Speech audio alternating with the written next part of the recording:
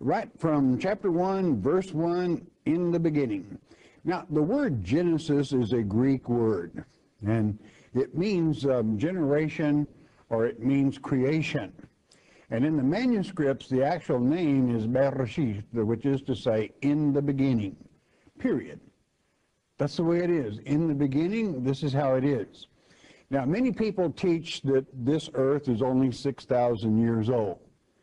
And they don't understand there was an earth age before this one. Because science documents this earth is millions of years old. So does God's Word. And we're going to document that today. That um, we had an earth age before this one. A lot took place there. But as it is written, and so it is, that uh, we have these proofs. Let's take uh, chapter 1 and let's take verse 1. Let's read it. In the beginning, God created the heaven and the earth, period. Now, let me ask you a question. When did it say he did this? Well, in the beginning. Well, when was the beginning? That's the whole thing. It was millions of years ago. Why people try to put, you know, um, when a Bible thumper can make himself look quite foolish, because we know even in documentaries this earth is much older than that. But then God's word also declares that this earth is much older than that. Now, um, let's let's check out, if we may, a little bit. Let's let's go to let's go to Proverbs, the great book of Proverbs, chapter eight, where wisdom was with God from the beginning. Who is wisdom? Wisdom wisdom speaks in this eighth chapter, and it lets us know a little bit about creation. So we're going to go to chapter 8, the great book of Proverbs, and we're going to pick it up at verse 22. And verse 22 reads, listen carefully. The Lord possessed me in the beginning of his way, before his works of old, before he ever even built the foundation. Wisdom was with him. Well, how can we say that? Well, all wisdom comes from God. You can count on it. That's the way it is. Verse 23 I was set up from everlasting, from the beginning, or ere the earth was. Can you last, latch onto that?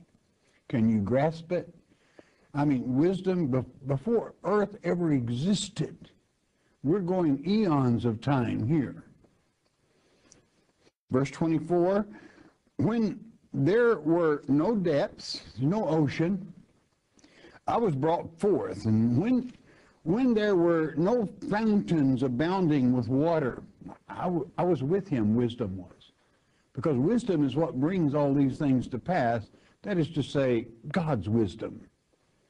Verse 25 Before the mountains were settled, before the hills was I brought forth, before any of it. 26. While as yet he had not made the earth, nor the fields, nor the highest part of the dust, that's every little particle of soil, eretz, of the world.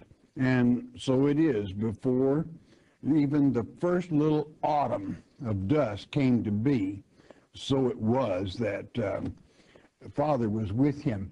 You know, you're, you're not going to have that today, but I, I cannot help but go to the great book of John. I'm going to read it to you because, because a lot of people say, well, is that written in the New Testament? Well, of course it is.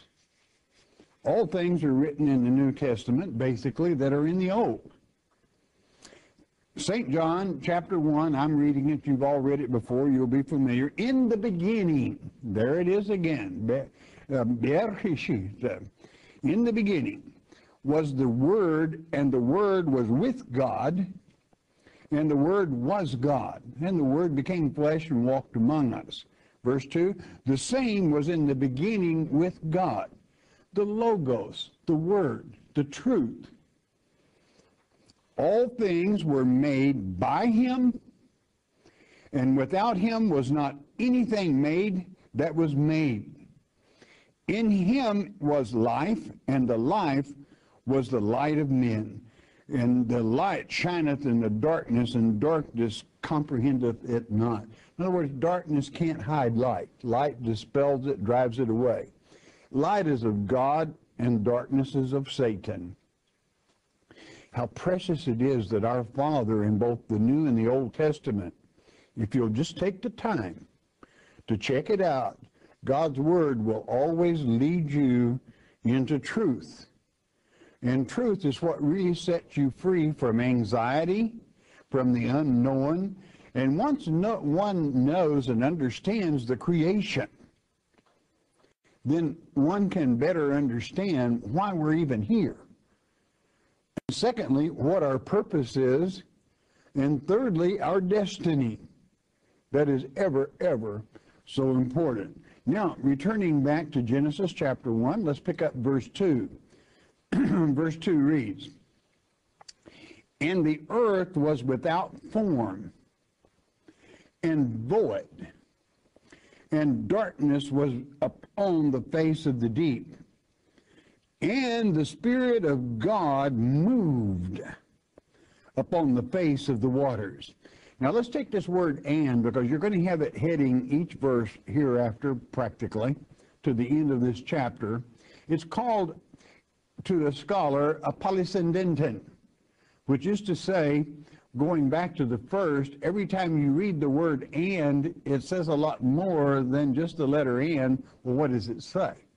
It says what was just stated, and the Spirit of God moved, uh, the Holy Ruach moved on various things and changing things. And, and so it was. Now, this would be a little disturbing if you didn't understand it, that God would create a mess. In the Hebrew, this is tuhu vabuhu, without form and void. I mean, it was torn up. It was a mess. Do you really, in using common sense, do you think God ever created anything that was a mess? The answer is absolutely not. So what we have to do then is take this word was. What does it actually say in the manuscripts? It's very important. Let's call up the Hebrew word that is translated was. It is in your Strong's Dictionary, in the Hebrew Dictionary, 1961. It is hayah a primitive root, you can compare it with 1933, to exist, to be or to become, not was, but to become, came to pass, okay? And that, that'll do it right there. It, it wasn't was, he created it perfect. He created it beautiful. And it became void and without form. Now, if you were a Bible scholar, you would know why. Because Satan rebelled and God had to destroy the first earth age. Why? Because a third of his children followed Satan. They were deceived by him. God doesn't want to destroy his children, so instead he destroyed that first earth age that was perfect. It was beautiful. North was true north. Magnetic north was true north. Everything was in perfect order. The earth was surrounded and protected. And it was it was a fantastic thing. That's the way God creates things. And and so it was. So the earth created by God was not created void and without form. Those of you that have companion Bibles, your appendix 146 before the foundation, katabole, in, in the Greek tongue, will help you a great deal in understanding this. But there you have it it was, was not void and without form. It became void and without form because it was destroyed. God never creates anything that is void and without form. Well, can we document that in another place? Of course we can. Go to the great book of Isaiah with me. Isaiah chapter 45. You're going to have it on the screen. Isaiah chapter 45. We're going to read verses 18 and 19. Listen very carefully and learn from God's word. Verse 18, and it reads, For thus saith the Lord that created the heavens, God himself that formed the earth and made it. He hath established it, he created it not, N-O-T, not in vain. He, that, that is tuhu, not wrecked, but uh, he formed it to be inhabited. It was beautiful when he formed it. I am the Lord, and there is none else. Verse 19, I have not spoken in secret in a dark place of the earth. I said not unto the seed of Jacob, Seek me in vain, voidness. You won't find me there. I, the Lord, speak righteousness. I declare things that are right. And certainly he does. He always has. So what did it say there? It said that God created this earth not void and without form.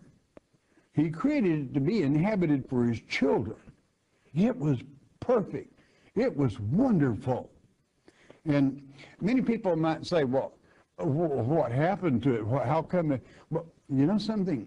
Do you know that we have documented proof in our documentaries about that great overthrow? It certainly wasn't the flood of Noah if that's what you're beginning to think. It wasn't.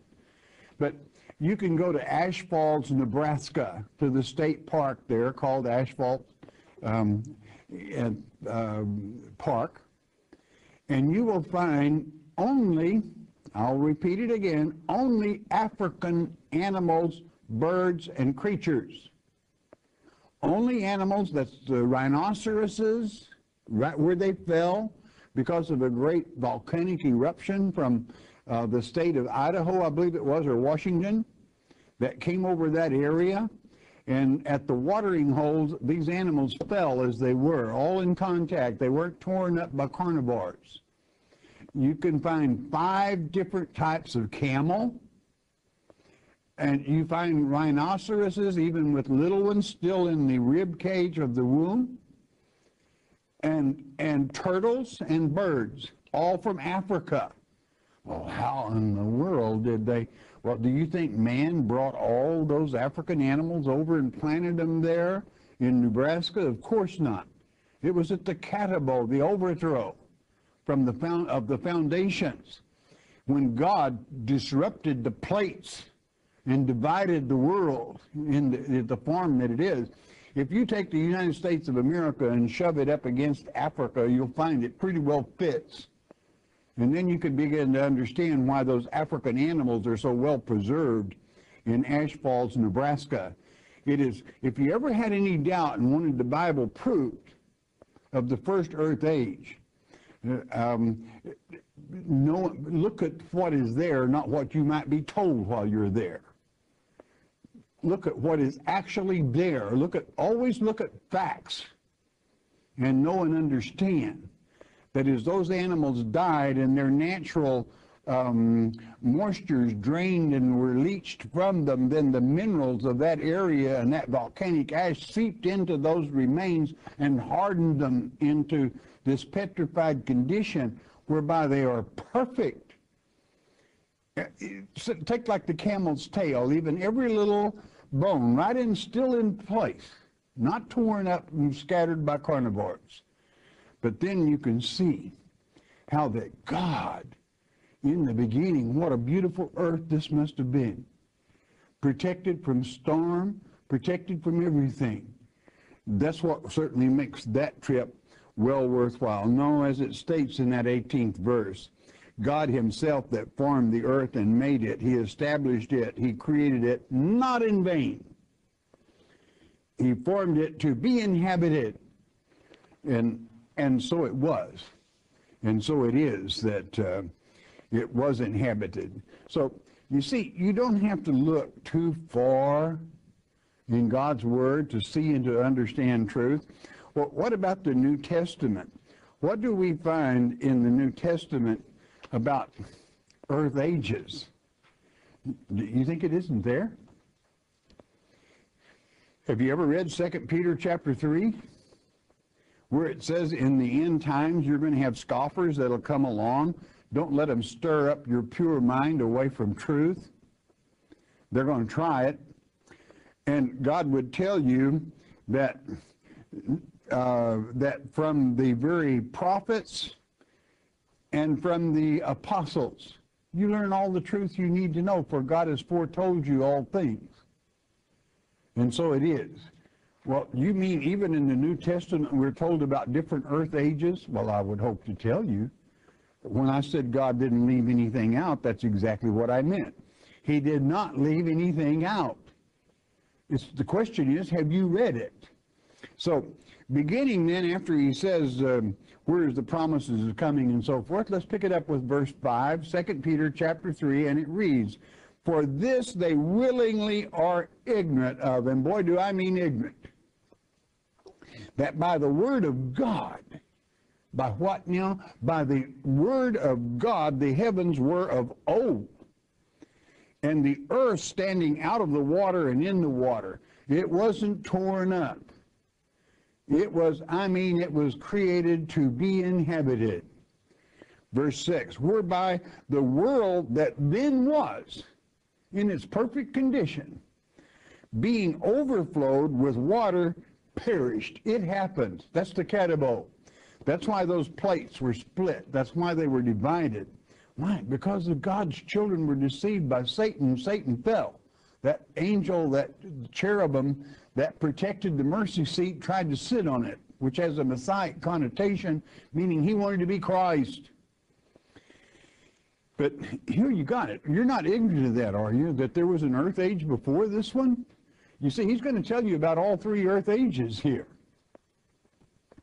That one perished. Not the world, and not the earth, but and certainly not heaven, but the age, the heaven age and the earth age. It moved into a new age. Moved forward. In what way? Verse 7 But the heavens and the earth, which are now, second, are now, by the same word, are kept in store, reserved unto fire against the day of judgment and perdition of ungodly men. Perdition means the certainly the falling off and the falling away of ungodly men. That's men that don't belong, people that don't belong, that do not meet the requirements of salvation. Verse 8, but beloved, be not ignorant of this one thing that one day is with the Lord as a thousand years, and a thousand years is one day. Well, how, how, how long is a thousand years? It's a millennium. Well, what does that mean? Then it simply means the millennium is called the Lord's day. It is in the book of Revelation. It is in many other places when it speaks of the Lord's day. A thousand years is a day with the Lord. It's speaking of the millennium. that is the time immediately following the seventh trump of the great book of Revelation. What is this fire business? Well, is God not a consuming fire as it is written in, in Hebrews chapter 12, the last couple of verses, the last, very last verse of Hebrews 12? God is a consuming fire. Well, what does his fire consume? Well, to you, it's the Holy Spirit that warms your heart that gives you guidance, that gives you light, understanding, wisdom that was with God from the very beginning. But to those that are evil, it scorches. It is a consuming fire for wickedness, for that that is evil. Verse 9 The Lord is not slack concerning his promise, as some men count slackness, but is long suffering to usward. He's got lots of patience. Everything he promised about the second advent, about the return, about exactly how things are going to be, they're going to come to pass exactly as it's written. He doesn't delay it simply that he has a lot of patience and is long suffering to usward, not willing that any should perish but that all should come to repentance. In other words, as the teaching goes forth, that all would repent and accept the Lord Jesus Christ and follow the leading of Almighty God, where he would not have to destroy again. Verse 10 But the day of the Lord will come as a thief in the night. That's when least expected. In the which the heavens shall pass away with a great noise. And the elements, that's the rudiments, shall melt with fervent heat. The earth also and the works that are therein shall be burned up. That is to say, that are, as you would read in Galatians chapter 4, verses 3 and 9, the beggarly elements of this world. That's to say, wickedness, not good. You know, the Shadrach, Meshach, and Abednego were in the, in, in the great book of Daniel, were in that fiery furnace heated seven times hotter than necessary. They weren't singed. Why? Well, as Nebuchadnezzar looked in, he said, Who, how many did we put in there? We put in three. There's four. For the Son of God was walking with them. They were not singed, not one hair on their head, nor were their clothes smoking. God protects his own. You can count on it, which is symbolic of one thing God's fiery indignation to those that love him is the comfort and warming feeling of the Holy Spirit as he touches you not to destroy, but to love, to understand. And so it is that um, our Father is in control. Be not ignorant of this one thing. There was an earth age and a heaven age before this. There is this earth age, but there is another age coming. But there is only one heaven and one earth that is spoken of in the Word of God. You know, Paul, when in the 12th chapter, I believe it's Second Corinthians would say, I, you know, at one time, whether in this body or in a flesh, a spiritual body, I, I know not, I can tell you. But I was taken to the third heaven, which means the third heaven age. That is the eternity in which we are all that overcome or are, are grafted into or live to enjoy and see and to understand. And, and how precious it is that our Father is able to lead us. Do you know there is still another place in the Old Testament that he does speak concerning that first destruction. if you still got a question about it, that this earth is millions of years old, and that um, certainly um, our Father uh, is in control, you know, let me, let me show you something. Here is a footprint that we have, we have taken from New Mexico. This was made by our staff, but personally, and um, uh, it's over 50,000 years old, according to the University of New Mexico, where this footprint was made. The footprint just before it shows you why this one was so deep in this particular place because he stumbled and caught himself here. But there were angelic beings. This is not a human footprint, but it is the footprint of a man from the first earth age, the time from before, far exceeding the 6,000 years or even the 7,000 years of creation. And not, not only that, but here from the great state of Texas is one tooth from a mammoth. This is a grass eater because here you see the ivory of the teeth for the chewer here on the top. And um, that he was a grass eater, a foliage eater in Texas. Lagoon grew there. I mean, it was a, a beautiful, wonderful place. And then from Alaska, from Alaska, is the teeth of a dinosaur rex, uh, rips and tears, a carnivore, okay, that certainly wasn't a grass eater, okay, and it is much older than 50,000 years old. And, uh, well, uh, but my preacher said the earth is only 6,000 years old. Well, it's too bad he lied to you and he's not capable of understanding God's word because God word, God's word is complete. Have you read it with understanding, with wisdom that was with God from the very beginning, before it all started? So turn with me, if you would, to Jeremiah chapter 4 when God threatens about what he did once before, how he tore it up, how he caused it to be torn up. We're not talking about Noah's flood either.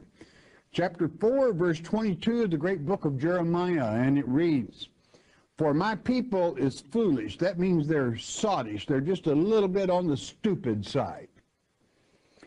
For they have not known me, they are sottish, that means stupid, along with foolish. Children. And they have done none understanding. They are wise to do evil, but to do good they have no knowledge. None at all. It's emphatic. And it would seem so when you go into certain circles of people. And then he tells what happened. For what he's doing, he's kind of giving a warning. I did this once before, and if you think I won't do it again, you mess with me. God does have a temper. He's jealous. 23. I beheld the earth, and lo, it was without form, void, and void. Tuhu. And the heavens, and they had no light. Noah's flood certainly didn't darken heaven. So you're not talking about Noah's flood. 24, I beheld the mountains and lo, they trembled, and all the hills moved lightly. He split the plates, the land plates, divided them. And again, you've got living proof of this in Ashfall, Nebraska, Nebraska all for the looking, and well worth the trip. 25, I beheld, and lo, there was no man. When God cleans the earth, the one that left, left this footprint I showed you, Zippo, he's gone. Right back to the Father from which he came. And all the birds of heaven were fled. There weren't two pigeons or two doves to be let loose from the ark of Noah. I mean, he cleansed it at that time. 26, I beheld and lo, the fruitful place was a wilderness uh, and all the cities thereof were broken down at the presence of the Lord and by his furious anger. And, and he was angry.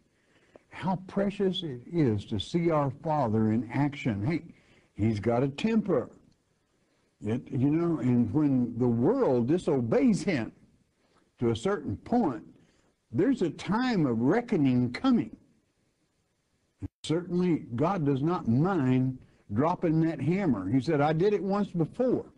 Verse 27, For thus hath the Lord said, The whole land shall be desolate. Yet will I not make a full end. Why? Because of the election. Those that were true to him, even in that first earth age that stood against Satan, they're known today as God's elect. This is why he would say in Ephesians chapter 1, verse uh, 4, I chose you before the foundations or the overthrow of the world. Right? Because you stood against Satan, you didn't you weren't beguiled by him. You weren't seduced by him. You remained true to our heavenly Father. Therefore he didn't make a full end. And he knew there would be hope. How precious this book of of, of uh, Genesis is. You know, if you start opening it up in the beginning properly, the whole Bible falls into place pretty well for anyone. It simplifies the very Word of God. I often use this old farm boy uh, uh, uh, analogy that if you've ever opened a feed sack, if you get the threads going just right, you can just pull the thread apart and open the feed sack. But you hack at it and butcher it and chop it up, and it's not going to open anyway smooth. Well, neither is the Word of God if you don't open it up smoothly with understanding and peace of mind to know and to understand. Now, I'm going to remind you again that the word and, as it is utilized here in this scripture, is a polysyndeton, which means a lot more is said than is written. It means, and then the Spirit of Almighty God. And what is that Spirit? It's the Holy Spirit. This is why it can be said through the Holy Spirit that Christ was with him from the very beginning. Why? Because he was Emmanuel, God with us. And that light came. And that light lightens the world. And that light is truth. And that truth puts the seal of God in your mind whereby Satan can't shake you. He can't gain anything on you or against you. Why? Because you have the truth of God's Word. Again, all the way to the beginning in Genesis 1, whereby it stated, and the Spirit of God moved. When God moves, something gives. When God moves, his love comes forth to those that love him. And when God moves, the enemies are in bad shape.